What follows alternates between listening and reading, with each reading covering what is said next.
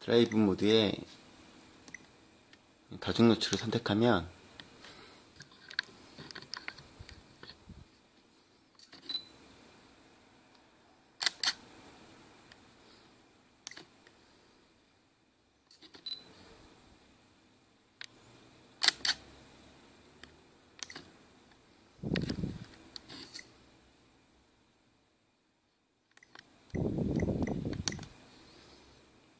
이렇게 다중 노출 이미지도 촬영할 수 있습니다.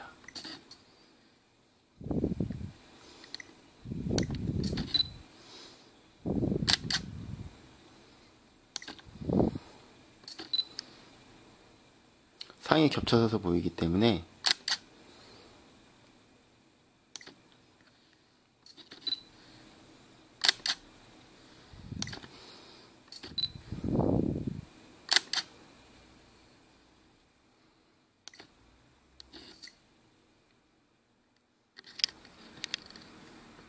이런 것들을 잘 활용하면 보다 재밌는 촬영을 할 수 있습니다.